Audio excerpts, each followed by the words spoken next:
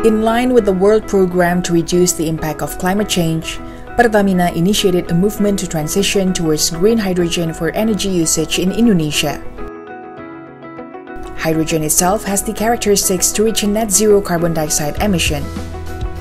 It works as an energy storage for renewable electricity as well as decarbonizing agent for carbon dioxide in industries. Hydrogen can have higher energy storage than batteries used in mainstream technology.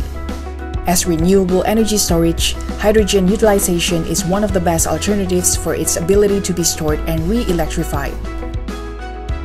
Hydrogen can also decarbonize carbon dioxide in industries and form energy that is hard to abate.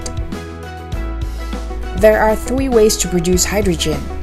The first one is biology or gray hydrogen.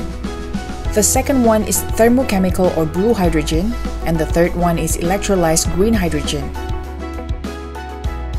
Hydrogen is produced through the electrolysis process using electricity that is generated from renewable energy sources.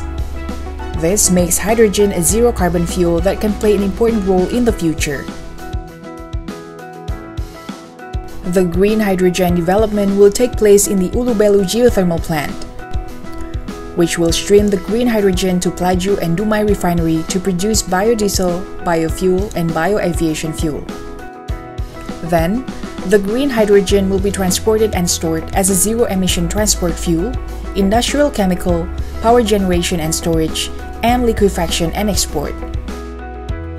We are enthusiastic at unleashing various potentials accelerating progress together, and achieving shared goals.